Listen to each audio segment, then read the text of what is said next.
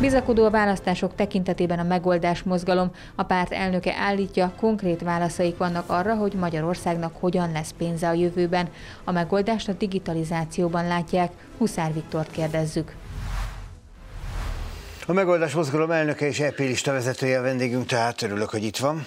Köszönöm szépen, megkereső estét kívánok. És hát én mondtam önnek, hogy itt leült velem szemben, hogy szerintem sokakat meglep, hogy a 2022-es kampány után ismét itt vannak. Tehát csend volt a megoldás mozgalom körül. Úgy látszik, hogy a választási kampányokra felélednek.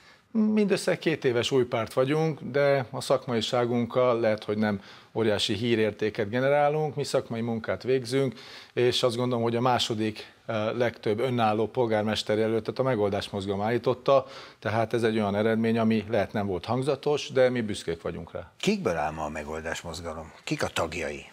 Vagy kik a vezetői? Az alapítói Magyarország legnagyobb adózói, és szakemberekből áll, mert mi nem főállású és nem megélhetési politikusok vagyunk.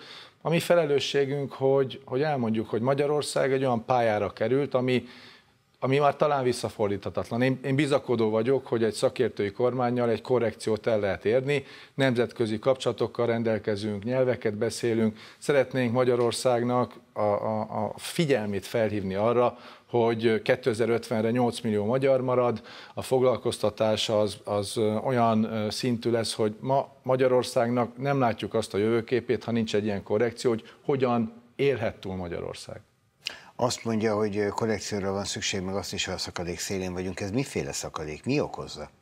Um, elnéptelenedés, elöregedés, részben elbutulás.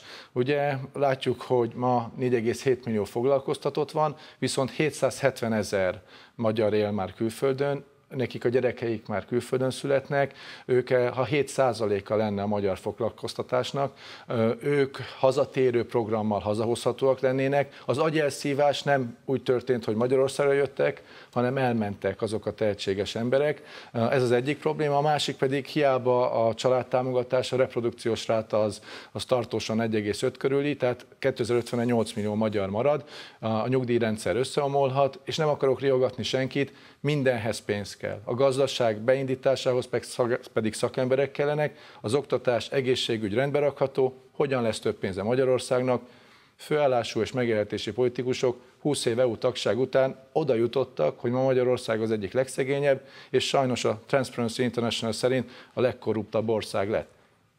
A versenyszférában mi mérjük a teljesítményt, azt gondoljuk, hogy kimondhatjuk, hogy talán ebből elég volt. 1,09, tehát 1,1 volt 2022-ben az eredmények országos adaton. Ennél jobbat várnak az EP választáson? Igen. Mi abban hiszünk, hogy, hogy fejlődtünk, Nyilván azzal, hogy, hogy van 28 polgármesterjelöltünk, és ez a mintatelepülés program esetleg egy-egy régióban meg tud valósulni, az nekünk már nagy eredmény. De mi mindig elmondtuk, hogy mi nem azért dolgozunk, hogy, hogy bármilyen hatalmi vágyunkat kielégítsük, nekünk ez a felelősségünk. Mi nem függünk a kormánytól, mi nem függünk a közbeszerzésektől, tőlünk nem vesznek pár száz milliárdért ö, dolgokat, úgyhogy ö, én azt gondolom, hogy nekünk ez kötelességünk, hogy, hogy kiálljunk és elmondjuk, hogy lehetne egy szakmai irányítás, és mindegy, hogy ki a kormány.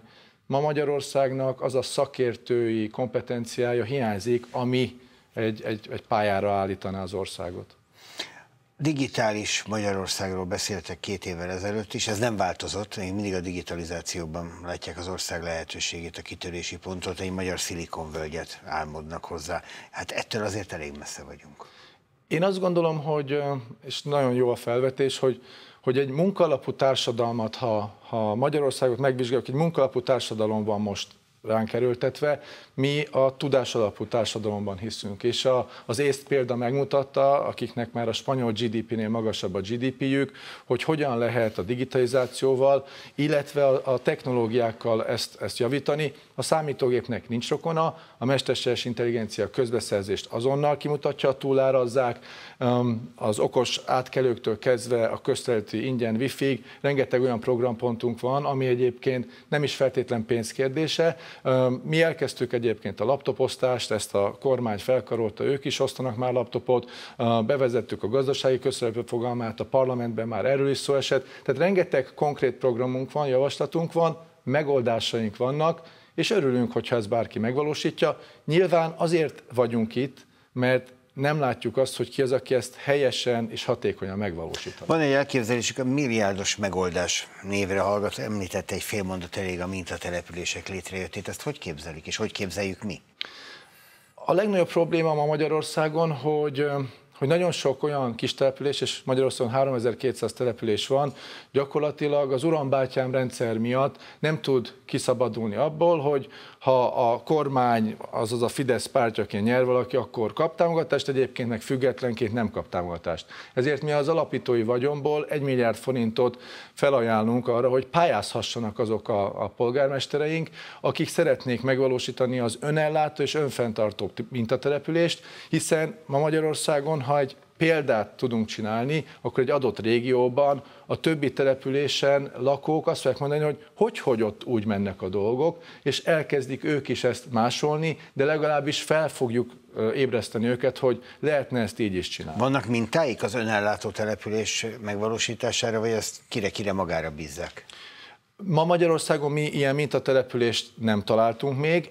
A kritériumrendszert független agytröztök 53 indikátorából állítottuk össze, és végül is az Európai Unióba is azért szeretnénk bejutni, mert a jogállamisági eljárás miatt ma Magyarországra nem jutnak el a források. Viszont a mi programunkkal közvetlenül lehetne lehívni forrásokat, hogy az önkormányzatok, civil szervezetek, KKV-k megkapják az EU-s forrást, és egy ilyen mintatelepülés nem csak Magyarországnak, hanem akár a lengyeleknek, vagy bárki ellen indul ilyen eljárás, akkor, akkor végrehajtható lenne. Programpontjuk az átlátható Magyarország, jó, az van másnál is. A biztonságos Magyarország, itt például okos átkelőhelyekről beszélnek, tehát okos zebráról valójában.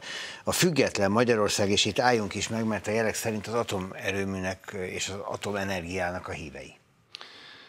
Mi a tudománynak vagyunk hívei, és azt vizsgáljuk meg, hogy az úgynevezett ROI, tehát az Energy uh, Return on Investment, az, az hogyan néz ki.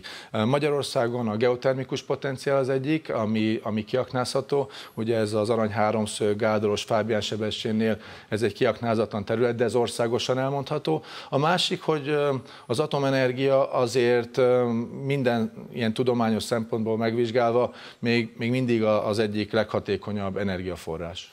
Ön a Nemzeti Közszolgálati Egyetem kutatója, igaz? Ott nem néznek furcsán önre ezzel a, az elkötelezettségével, a pártelnökségével, az EP lista vezetőségével?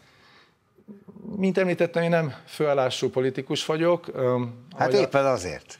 Az MTA köztesteti tagjaként engem a tudomány és az objektivitás vezérel.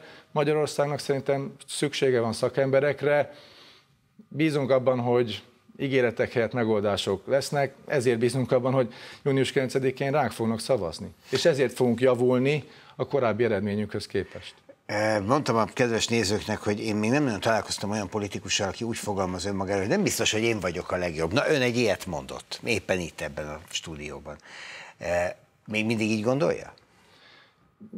Bizonyos szakterületeknél biztos, hogy ez így van. Mi nem értünk mindenhez. Szerintem az a szakértői, vagy inkább menedzser kormány, amiben mi gondolkodunk, az pont, hogy független olyan szakemberekből szeretne összeállítani a csapatot, akik megtalálják nem csak egy-egy urambátyám rendszer által kijelölt személy miatt, hanem a független kijelölt bizottságok által azt a szakembert, aki a legjobban tud egy területet irányítani. Nem én vagyok a legjobb oktatásügyi szakember, a egészségügyi szakember. Az én szakterületem az a digitalizáció, a mesterséges intelligencia, ebből doktoráltam, és erről szívesen is beszélek, ebben tudok segíteni jó magam is. De a megoldás mozgalom az abban hisz, hogy a politikusokat oda küldjük, ahol a szakemberek nem tudnának jobban teljesíteni. A MEMO elnöke Huszár Viktor volt a vendégünk, köszönöm szépen, hogy itt volt. Köszönöm szépen. Köszönöm a figyelmüket, jön a híradó, és aztán tudják, egyenes beszéd 19 óra 25-kor jöjjenek vissza, vagy ne is menjenek tovább.